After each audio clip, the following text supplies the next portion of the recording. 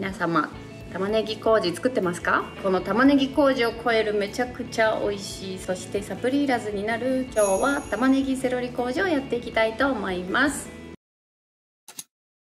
べっぴん金でべっぴん大ス鈴木ひろみです。今日はですね皆さん大好きな玉ねぎ麹を超えるですね美味しい美味しいコンソメ麹になる玉ねぎセロリ麹をやっていきたいと思います。はいさやちゃんよろしくお願いします、今日も。よろしくお願いします。はい。玉ねぎ麹作りますかさやちゃん。はい作ります。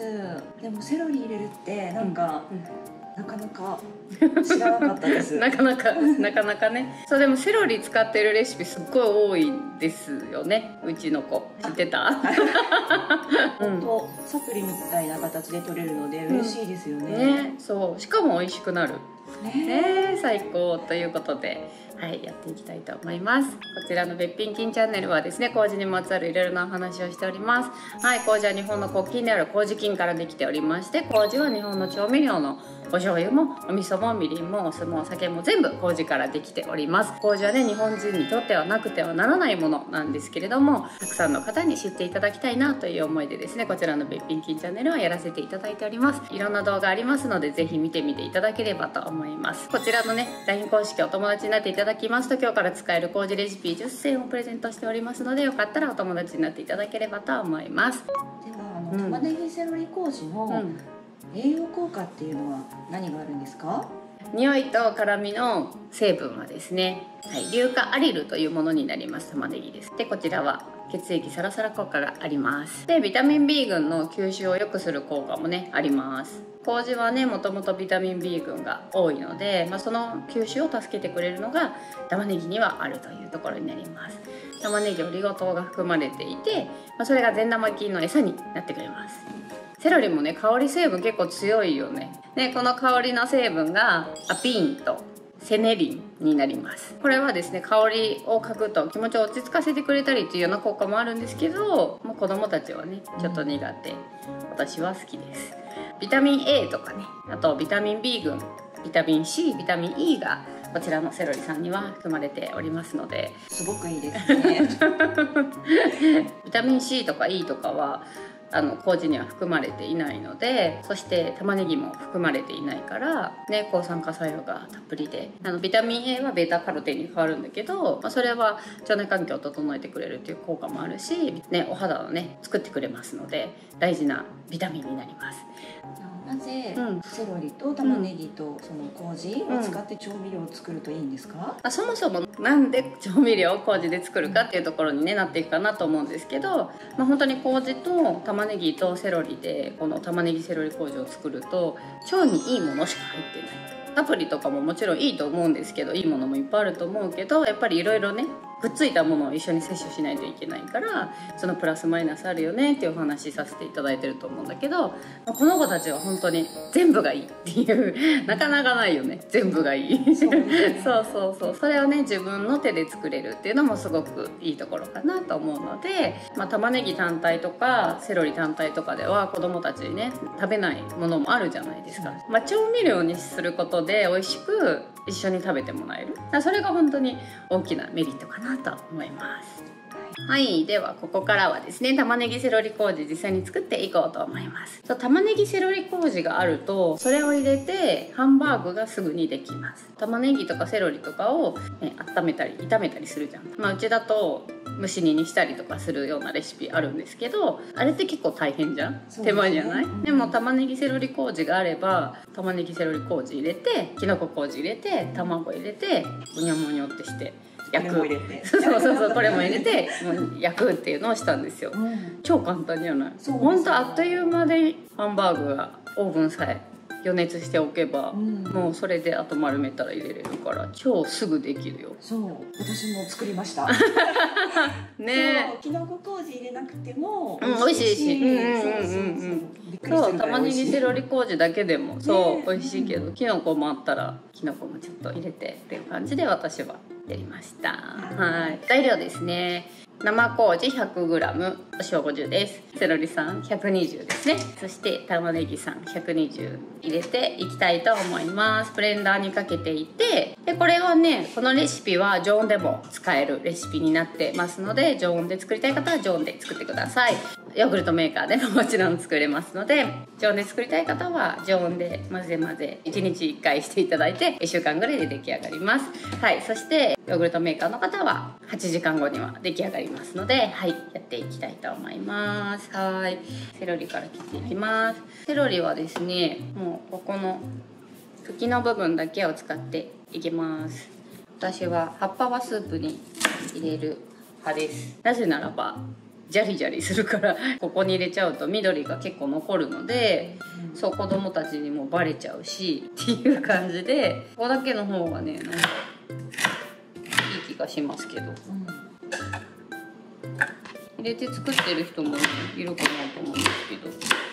足りないかな。もうちょっと。全然茎は入れて大丈夫。うん。さあはい。ちょっと多かったら玉ねぎとかで。うん。書いてもらってもいいですね。新玉ねぎの方が甘いよね。うん、そうですね、うん。どちらでも大丈夫です。ブレンダーがない方は、うん。どのやどんな風にしたらブレンダーない人はすりおろす。うん、そうですよね。気合を入れてすりおろす。気合を入れて 結構気合が必要だよね。すりおろすセロリの方が気合がいりますかね。ブレンダーね安くあるよね結構ね。そうなんですよ、うん。ブレンダーはやっぱあった方が絶対いいと思う。ヨーグルトメーカーとバイタミックスも強くおすすめしてますけども、ね。私は。機械に頼ろうというのが。そうですね。機械に頼った方がいいよねでもね。そうなんです。うん使わなかったらどうしようってやっぱり思う方もいると思うんですけど調味料作りってね。そう絶対そんなことないよね、うん。使わないなんてない。もう。そうブレンダー。と、まあバイタミックス。バイタミックスよりブレンダーの方が全然おお買い得じゃない。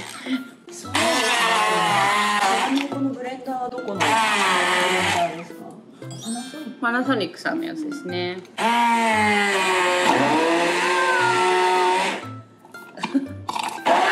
飛んだ危ないお洋服に飛びました。す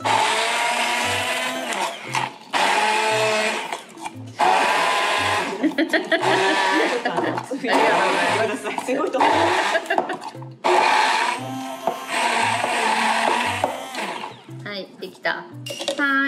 た。できたよ。できたよ。そしたら塩切りをしていこうと思います。はい。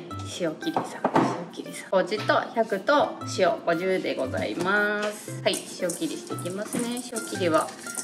でお塩と麹固まってるのがあったらこんな感じで。ああいい香り。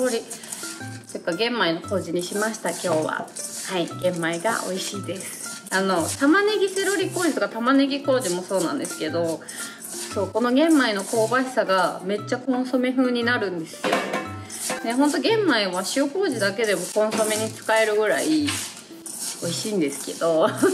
そう。さらにセロリ玉ねぎセロリ麹にするとめっちゃ美味しいので玄米麹でぜひ作っていただきたいです。生の玄米麹なかなかね見つからないかもしれないんですけど。麹スタイルで売ってます。麹スタイルのベースショップでも買えるので一回やってみて。本当にめっちゃ香りがいいんですよ。いい香り。ねこうやってでもめっちゃいい香りと思っちゃう。はい塩塩切りさんできました。ではヨーグルトメーカーに入れていこうと思います。はいヨーグルトメーカー。今日はパストリーゼしていきますね。パストリーゼパストリーゼ。はい。パストリーゼシュッシュします。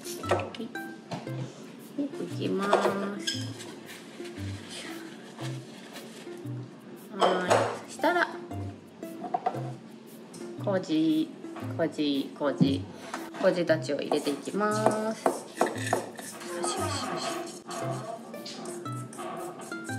お塩をね。全部ちゃんと入れるのがポイントです。麹とお塩入れたので続いてセロリたち入れていきます。セロリと玉ねぎです。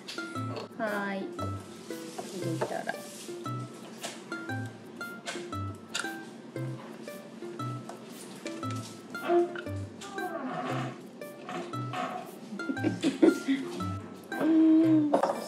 混ぜ混ぜします。でこの時にお塩をしっかりと溶けるように混ぜてください。お水はいらないのでこの玉ねぎとセロリの水分で大丈夫です。でお塩がしっかり溶けたら内蓋をしてヨーグルトメーカー57度から58度ぐらいで8時間以上はい入れていただければと思います。であんまり温度で下がらない方がいいので帰ってくる時間よりも多めにセットしておいていただければと思います。じゃあセットしてはい。こちらでヨーグルトメーカー入れてきます。はい入れてきます。